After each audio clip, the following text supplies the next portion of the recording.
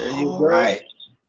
Hello, everybody. Spider here, the Fight Card Podcast, coming to you from San Antonio, Texas. Uh, my guest, not so much, man. You're in Laredo, Texas, right now, bro.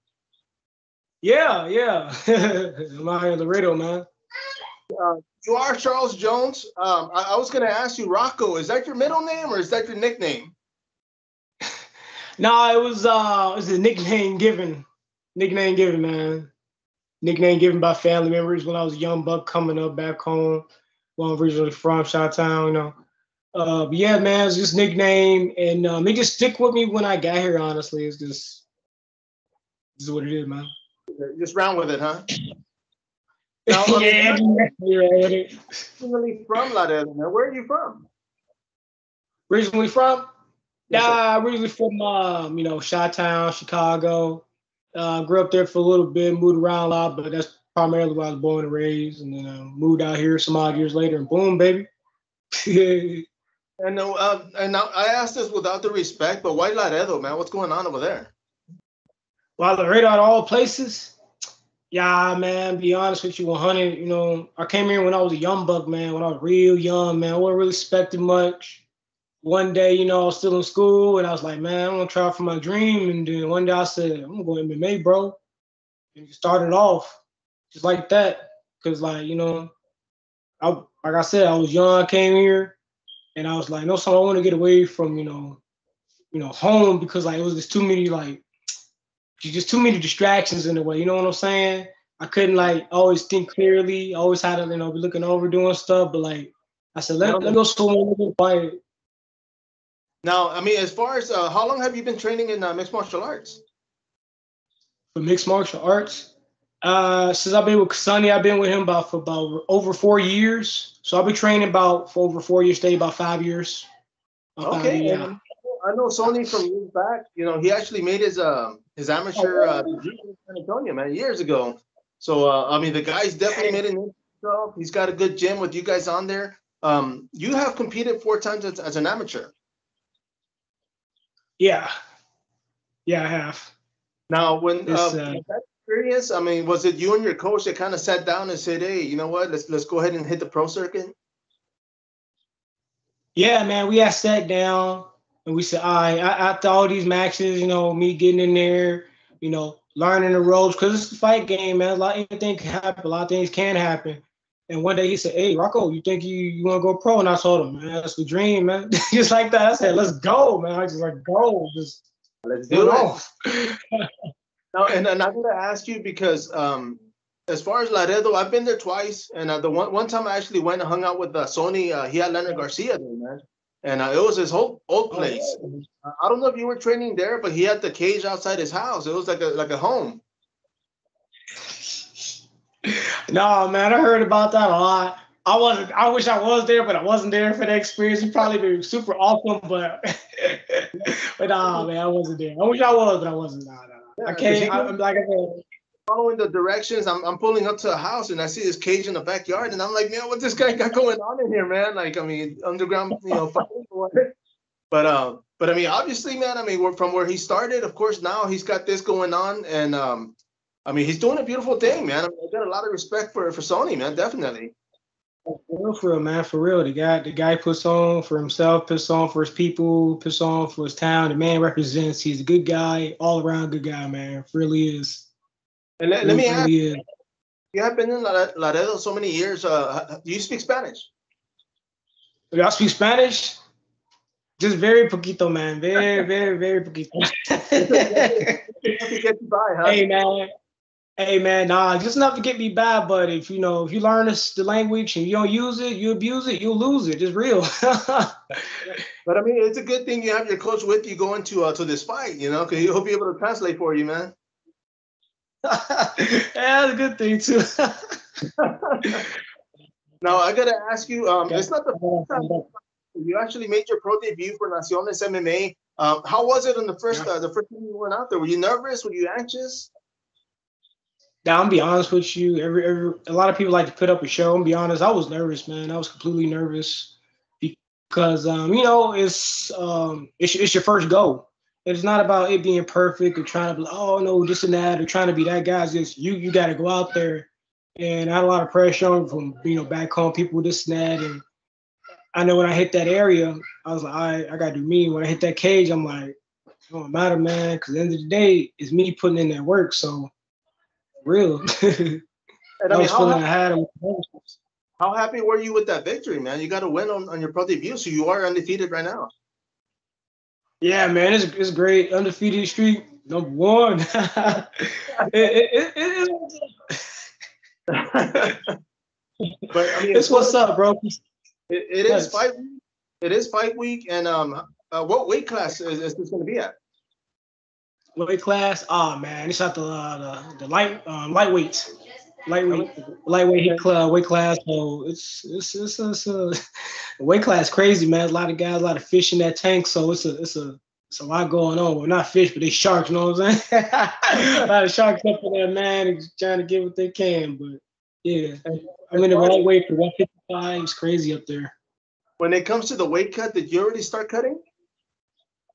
Honestly, um, yeah, yeah. I, I I do my weight cuts in between my uh, my counts because you know it's, it's a lot of hell in that ring. I mean, in the cage itself because like you're in there, you're locked away, and you don't get out until you finish or the timer runs out or you finish the guy basically. And you know through my through my um, you know the camp I had, I was going through a lot, especially with the weight cut because it would drain me through uh, me trying to you know be able to accomplish the drills, to accomplish uh, whatever you know my coach had put me through with the camp, you know, for anything, the exercises, um, you know, bag hitting, anything. It was it was a different drain um, set for me, man. So it was it was um honestly one of the one of the hardest I've been in for a long time. And I mean, because of that, now, like you say, you're you're doing your weight cuts a little bit early or in between. Yeah, yeah, yeah. And uh, how many pounds do you have to go? How many more pounds, bro? Yeah, it's hard to say. I should honestly, I should check that scale. But the last time I checked, the, last, the last time I checked, because I gave up the fast food and everything else. Nah, I, I eat healthy. No, I um, I'm around about I think about a good eight pounds, maybe eight eight pounds for sure. Now, um, I mean, I've from here to Laredo, I've I've driven out there, and it took me about three and a half hours, four hours. I drive slow. Um, how, how far is the distance from from where you guys at to uh, Monterrey, Nuevo Leon, man? Dude, man, now that right there, to travel, it's it's it's a killer. It takes a while. I think the last time we were on there, maybe like I think I think about six hours. It's it's a long drive. You gotta be patient, but it's worth the sightseeing. no, I mean, coach, coach out there, though, right? Say it one more time, brother. A coach, he's the one that's driving out there, Sonny. Coach, man, honestly, I don't even know. Probably so, if anything. I yeah, I think he, I think he is. He is now, man. oh man, oh, it's a long drive, bro. It's, it's, it's a long drive, man. It's, it's now, I mean, drive. I mean, are you doing your weight cut while you're out there? Do you put on put on a sauna suit and just sweat, keep sweating it, or? No, man, I got a suit up in here. I, I got a sweatsuit I put on. I jog with. I did um, what was it like? Uh, yeah, seven. I did seven miles this morning before I went out to work. I had a sweatsuit, threw it in the washer and dryer. It's done now. I use it a lot now more than ever because it helps with the um the cutting of the weight. It keeps me where I need to be. And honestly, damn thing keeps me motivated because like when I'm in there, it feels like I got this pressure on me and I gotta get it off. so I keep with me, man. I can offer. I keep with me, man. well, so, I yeah. mean, for sure. You mentioned. I mean, you are um, a student of uh, Sonny Luque. I mean, uh, you're going to be representing Laredo Kickboxing Academy, of course. Uh, being that it's Mexico, man. I mean, uh, I know Sonny's got a relation with Naciones MMA. Uh, he does the commentary, man. So how does that work when it comes to you fighting? I mean, does he like step away from that and coach you on the on your fight? Nah, man. You know, we're, we're all men. Everyone has their business. They got things to do. You understand that you can wear one pair of shoes and another later. Uh, for the last one that we was in there, he, he did commentary, and you know, I'm not gonna stunt. A lot of people know this is real. You know, as fighters, like you feel some type of way when your coach ain't there. You know, and then and then um, you know, it takes away a little bit, but that's why you're out there to fight because you know pressure pressure's gonna be there. So when he's doing his thing, I'm happy for him because you know, you know, he got me, he got me so far because you know his help, his teaching, his showing, and, and, I'm out there on the platform doing this. So I'm like, all right, you know, you just, you just to me it's like he's in another chair. there with the mic yelling at you, man. Hey, go for the leg. Nothing like. Yeah, well, I mean, the fact that he's actually still involved with the sport because um, from the last time I talked to him, he didn't really he didn't say he was retired. I know he he left uh, the last fight he had. You know, I mean, he's had some some uh, some tough losses, but he's got he's had some great wins, man. Um, he's accomplished. I mean, he's fought for for uh, Combate, you know, uh, America when it was Combate America uh, for Legacy. You know, the guys fought for some good promotions. Um, after this fight, are you looking to fight here in the U.S.? Here fighting U.S. Yeah, most definitely. I am because um, you know it's it's a journey for me honestly for the MMA career mine the fight game it's a journey that's what, what it's always been ever since I started so I'm looking to branch out and have more fights in America also still want to have fights overseas but yeah, I am looking primarily in a way for more uh, traditional American more fights. You know. No, definitely, man. Because I mean, I'll, I'll say this: six hours going into another country, but if it's six hours here, you feel a lot safer, right? safe is safe, free is free, baby. We all got to get where we live, right? and I mean, of course, uh, you work full time, so your training. When, when does it start? I mean, like uh, at the end of the day, work day. No, man, honestly, um, my training really doesn't stop even at work. Like times my bosses even called me jabbing at bags, even putting weight up, doing footworks. No, man, because like I, it's, it's like I said, it's the journey, bro. I love it because you have to really be like willing to put yourself in some predicaments in place. You got the sport is very uncomfortable. It's not about being comfortable and I like that uncomfortableness with it. And when I when I'm at work, I get stares, but I tell I tell them like, hey, it's what I do. It's who I am. Like I'm not gonna change that for you, nobody else. But you know, I get up in the morning, sometimes five. I go jog. I'm not gonna say how much, but I, I go jog about for 30 minutes a day to an hour. Who knows? I don't. I don't even count many miles I put. I just do it because I know it's gonna benefit me. When I go to work, I do my thing and work from nine to five. I may do a little bit of switching here and there, some jabs on stuff. You know, that's that's, that's what I do. It don't matter. They don't know. Don't care. That's just me. When I get off, it's back to the hustle. It's back to the grind. It's back to the journey itself because that's what I love, man. So like, as soon as I get off, I come home. I don't even dress yet, bro. I I, I would literally bust squats outside, push ups, a little bit of ab work, come inside and like you know prepare my day and train a little bit even in the house so I can go out. That's me. Definitely, man. And I mean, um, what kind of work do you do that you get to do this, man? I mean, are you like work? Honestly, man, uh, when I worked in the office area some some odd years ago, it, it became strenuous for me to do any of that because everything is so time demanding, and miniature um, outputs. But uh, you know, that was a great endeavor at that time. But now I've been uh, with this place. They took me back. Uh, it was a labor company and you know, I just do small things there. I repair trucks and trailers and forklifts and stuff like that. And and be and with that job description of that, I I don't have a whole lot of time, but I have a, a nice suitable amount of time where I can like you know I can you know I can I can flow. You know, yeah, I can flow, I can grab, I can move, you know, I can bob and weave while I'm there, throw some kicks, you know, because I'm in a big operation area at times. You know, plus it's outside. You know, I got a van or I got a facility. You know, I use the area right, do my right. thing there. Yeah. No, no, for sure, man. Now, uh, this fight coming up, man, who's helping you as far as sponsors uh, going into this bout? Uh, found me, got me some sponsors. Honestly, man, only per uh, a few people's helped me, but the person helping me the most out of anyone is my coach, yours truly, Son Luque. He's been putting on for your guy for, for a while. He's been helping with those sponsors. It's um, it's a, that right there, the journey itself. I I, I, tried my hand in it, got me a few, um, you know, a few stars out that. I thought, I'd bucket with it, but nah, it, never gonna fell through. Never went through with um the next step with it, you know. But thanks to Sonny, because Sonny, you know, I was able to get some sponsors. So you know, big props to him and all that. That's, that's what's up. no, no, for sure. And I mean, the, the fact that your coach is actually helping you. I mean, he'll be there with you uh, uh fight night. You know, um, he'll be he'll be doing the commentary, but he'll be there inside the stadium.